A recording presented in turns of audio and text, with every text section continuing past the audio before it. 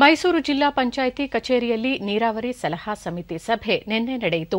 ಸಭೆಯಲ್ಲಿ ಶಾಸಕರಾದ ಅಶ್ವಿನಿ ಕುಮಾರ್ ಹರ್ಷವರ್ಧನ್ ಮೈಸೂರು ಜಿಲ್ಲಾಧಿಕಾರಿ ಡಾ. ಬಗಾದಿ ಗೌತಮ್ ಸೇರಿದಂತೆ ಅನೇಕ ಅಧಿಕಾರಿಗಳು ಉಪಸ್ಥಿತರಿದ್ದರು.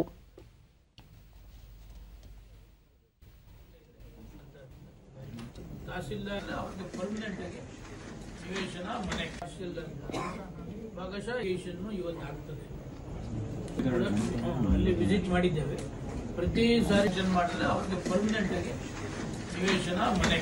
ಅಂದ್ರೆ ಅವ್ರಿಗೆ ತೊಂದರೆ ಆಗ್ತಿತ್ತು. ಅದೊಂದು ಸೆಟ್ರೇಟ್ ಮಾಡ್ತಕ್ಕಂಥ ಅದಕ್ಕೆ ಸ್ಥಳದಲ್ಲಿ ಆದೇಶ ಮಾಡಿ ಸರ್ ಹುಣಸೂರು ಮೂರು ಕಡೆ ವಿಸಿಟ್ ಮಾಡಿದ್ದೇವೆ ಬಳಿಕ ಸುದ್ದಿಗಾರರೊಂದಿಗೆ ಸಹಕಾರ ಸಚಿವ ಎಸ್ಟಿ ಸೋಮಶೇಖರ್. ಕಬಿನಿ ಜಲಾಶಯದ ಅಚ್ಚುಕಟ್ಟು ಪ್ರದೇಶಗಳಿಗೆ ಜುಲೈ ಹದಿನೈದರಿಂದ ಹತ್ತು ದಿನಗಳ ಕಾಲ ಒಂದು ಸಾವಿರ ಕ್ಯೂಸೆಕ್ ನೀರು ಬಿಡುಗಡೆ ಮಾಡಲಾಗುವುದು. ರೈತರಿಗೆ ಅನುಕೂಲವಾಗುವ ನಿಟ್ಟಿನಲ್ಲಿ ಕಬಿನಿ ಜಲಾಶಯದ ವ್ಯಾಪ್ತಿಗೆ ಒಳಪಡುವ ನೂರ ಇಪ್ಪತ್ಮೂರು ಕೆರೆಗಳಿಗೆ ನೀರು ತುಂಬಿಸುವ ಕಾರ್ಯ ಕೈಗೊಳ್ಳಲಾಗಿದೆ ಎಂದು ಹೇಳಿದರು.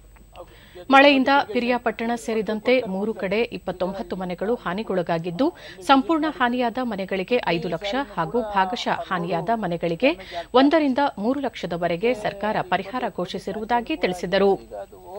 ಎಚ್ಡಿ ಕೋಟೆ, ಸರಗೂರು, ಕಬಿನಿ ನದಿಯ ಸೇತುವೆ ನಿರ್ಮಾಣಕ್ಕೆ ಇಪ್ಪತ್ತೈದು ಕೋಟಿ ರೂಪಾಯಿ ಬಿಡುಗಡೆ ಮಾಡಲಾಗಿದೆ. ಕಬಿನಿ ಜಲಾಶಯದ ಪಕ್ಕದಲ್ಲಿರುವ ನಲವತ್ತೆರಡು ಮನೆಗಳಿಗೆ ಹಾನಿಯಾಗಿದ್ದು, ಅಲ್ಲಿನ ಜನರಿಗೆ ನಿವೇಶನಗಳನ್ನು ಒದಗಿಸಲು ಸರ್ಕಾರ ಆದೇಶ ಹೊರಡಿಸಿದೆ ಎಂದು ತಿಳಿಸಿದರು. ರಾಜೀವ್ ಗಾಂಧಿ ಇದರವರು ಅದು ಅಮೌಂಟ್ ಸ್ಯಾಂಕ್ಷನ್ ಮಾಡಿದ್ರೆ ಅವ್ರಿಗೆ ಪರ್ಮನೆಂಟಾಗಿ ನಿವೇಶನ ಮನೆ. ಆದರೆ ಅವರು ಶಿಫ್ಟ್ ಆಗ್ತದೆ. ಅದೊಂದು ಪೋರ್ಷನ್ ಯಾವಾಗಲೂ ತೊಂದರೆ ಆಗ್ತಿತ್ತು. ಅದೊಂದು ಸೆಟ್ರೇಟ್ ಮಾಡ್ತಕ್ಕಂಥದ್ದಕ್ಕೆ ಸ್ಥಳದಲ್ಲೇ ಆದೇಶ ಮಾಡಿ